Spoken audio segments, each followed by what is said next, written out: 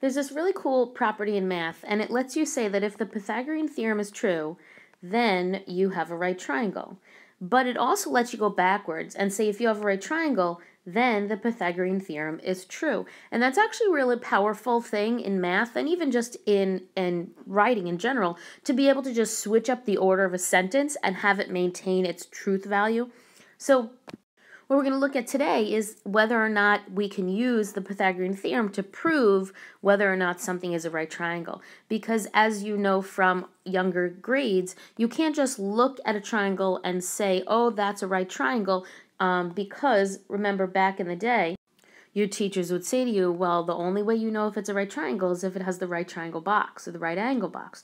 You can't assume because it could be 89 degrees, or it could be 91 degrees, or it could be 90.2 two degrees. You never know what the measure of the angle is, and so you can't just assume by looking at something. And that's why a lot of times in pictures, it'll say that it's not drawn to scale.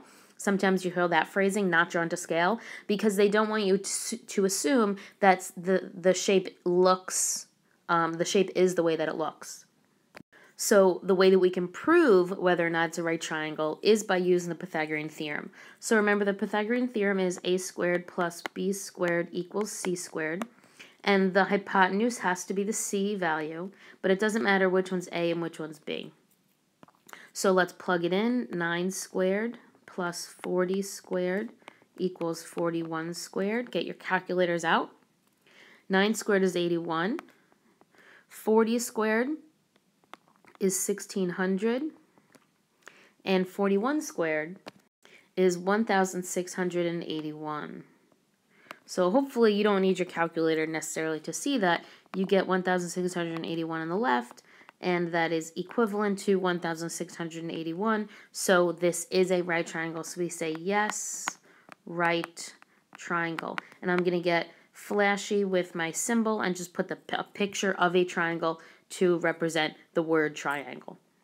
Because one of the things that's cool about math is that we use symbols to represent words. Probably not um, really approved when you go to English class, but in math class it's, it's totally cool. Now again, let's check here with the Pythagorean theorem in example B. Remember, it's a squared plus b squared equals c squared.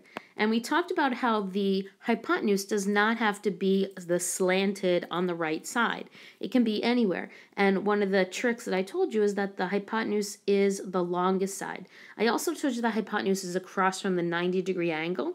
So since we don't have a 90 degree angle, we can't use that technique and we can't use the it doesn't look like 90 degrees because it could not be drawn to scale. It might actually be a right triangle or it might be you might just be looking at it at a, a different angle and this maybe could be a right angle. So you never know. So let's start plugging in some values. Um, this has to be the C um, and it doesn't matter what A and B are. So 18 squared plus 12 squared equals 24 squared. 18 squared is 324. 12 squared is 144. And 24 squared is 576. So is this equal to 576? It is not because you get 468. So this is no not right triangle. So you can also use the Pythagorean theorem when you're on the coordinate grid, when you're plotting points, but you often use this thing called the distance formula. And the distance formula is this formula right here. I know it looks relatively scary, but it's actually not. You should recognize a lot of these parts to it um, from the slope formula. Remember, we used x2 minus x1 for the slope formula, and we used y2 minus y1 in the slope formula. And so we're just taking that rise and the run value, and we're turning it into a Pythagorean theorem style formula. So while it looks very complicated, it's actually just the Pythagorean theorem um, on the coordinate grid. So I'm going to show you how to find the distance between two points that are on the coordinate grid by using a distance formula, and then I'll show you how you could also create it by drawing a picture and plotting the points. It's a little more work, and I would not encourage you to do that because I would like you to practice with the distance formula, but I'll show you how you can also get the value of that distance by plotting the points. So first we're going to do part A, and we're going to use the formula. So remember, um, you just have to label your points. This will be x1, this will be y1, this will be x2, and this will be y2. So now you're just plugging in values. So I've got x2, so that's negative 4 minus 1 squared plus negative 2 minus 5 squared. And now I just have to follow my order of operations, and parentheses will come first, so that's negative 5 squared plus negative 7 squared. That turns to 25 plus 49, and I just have to add them, so I have the square root of 25 plus 49, which is 74 and that actually doesn't reduce. So there are two things. One is you actually, sorry, I just had a little dot in the way, square root of 74. You can actually leave it as the square root of 74. That is actually a mathematically acceptable answer. Um, you could, however, also turn that into a decimal and find the square root of 74, which is approximately equal to 8.6 units, I guess, since we're on the coordinate grid. Um, so either one of these is okay, and actually we'll round, let's get rid of those squiggles, and let's just say 8.6. Now let me actually show you how you would do this on the coordinate grid. So you'd, you'd make an xy, and you'd actually plot those points. So I've got 1, 5, which let's just say is around here. And negative 4, negative 2, let's say, which is right there. So if I want to find the distance between these two points, I would create a right triangle. Well, remember, the Pythagorean theorem is this side squared plus this side squared uh, equals the other side squared. So if you're on the coordinate grid, this distance right here would be from negative 4 all the way to 1. So that would be a distance of 5. This distance here would go from a negative 2y value all the way up to a 5y value, so that would give you 7. So you would do 5 squared plus 7 squared equals c squared, and cut to the chase, you'd get 74 equals c squared, and then you'd square root both sides and you see you get the same answer. So both ways are fine. This is an algebraic way of calculating it, and this is more of a geometric way of calculating it. So I'd like you to practice with the algebraic way, um, but recognize that if you're stumped, you can also calculate it by doing the pictures. Or if you find that the pictures are better, you can do that. But I also want you to be able to use the distance formula. I don't want you to say, well, I'm not going to learn the distance formula technique because I'm always going to draw a picture. You have to know how to do the distance formula, even though you're choosing not to do it. All right, if you're up for the challenge, pause the video and do number two on your own. If you don't want to do uh, it on your own, let's do it together. First thing you have to do is label, so I'll call this x1, y1, x2, y2, and now I plug it in the formula. So I've got 9 minus 7 squared plus 6 plus 3, right, because it would be minus negative, so I'm shortcutting to make it just say plus squared.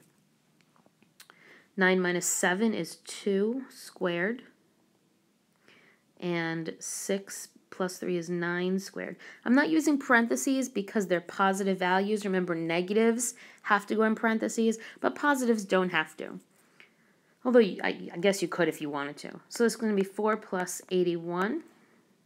So that's going to be the square root of 85. And again, if you want to leave it like this, that's mathematically totally cool. But if you want to get your calculator, you certainly can find the square root of 85, which is 9.2. So we could also say it's about 9.2 units because we're on the coordinate grid. Let's do it by drawing a picture.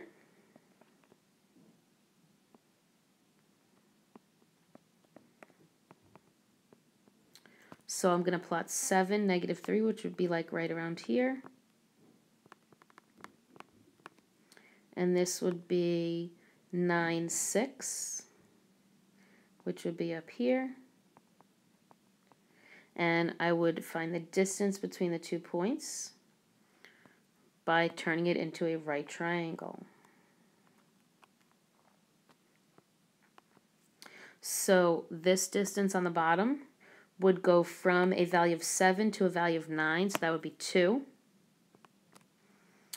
This distance on the side will go from a negative 3y value all the way up to a 6, so that would be 9. And hopefully you're also recognizing that the 2 and the 9 are right here in the formula. So earlier, the 5 and the 7 were here in the formula, only they were negative, but when you square it, it's the same thing. So these values are not magical values, they're actually values that you would get somewhere else. Um, so then what you would do is you would do 2 squared plus 9 squared equals c squared, right? This is using the Pythagorean theorem style. And let's shortcut and let's just say you get 85. And when you square both sides, you see you get the same thing. So either technique is fine. I'd like you to pause the video and read example 3. So now what they're asking us is this angle right here a 90 degree angle. This is the angle they're asking about. So they're wondering, is this a right triangle? So what you have to do mathematically is find the distance from these two, then find the distance from these two, then find the distance from this, and see if it is a 90 degree angle when you do the Pythagorean theorem or the distance formula. So I'm going to map out the plan for you if you're not sure. If you are sure of how to do it, feel free pause the video right now and try it on your own. If you need a little guidance, here's what you would do. First thing you have to do is you have to find the distance. So you're going to find distance 1 using the formula. Then you're going to find distance 2 using the formula. Then you're going to find distance 3 using the formula. And then we want to see if they then would create a Pythagorean theorem right triangle by doing d1 squared plus d2 squared and see that if that equals d3 squared.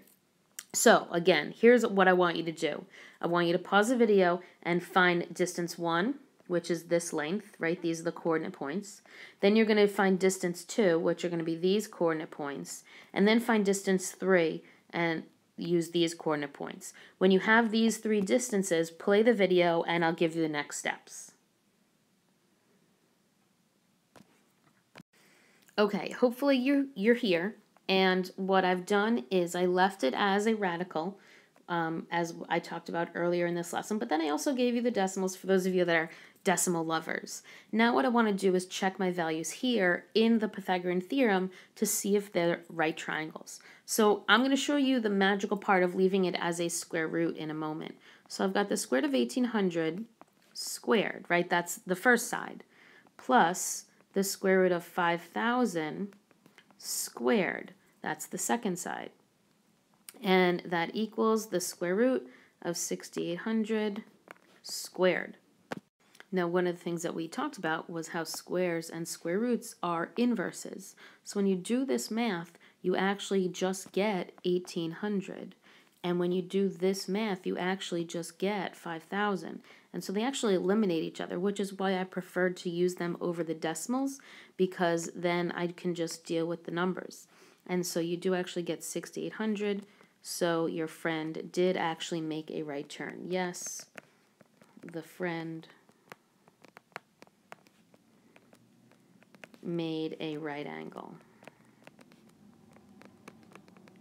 If you have any questions, write them down and ask me when you come to class.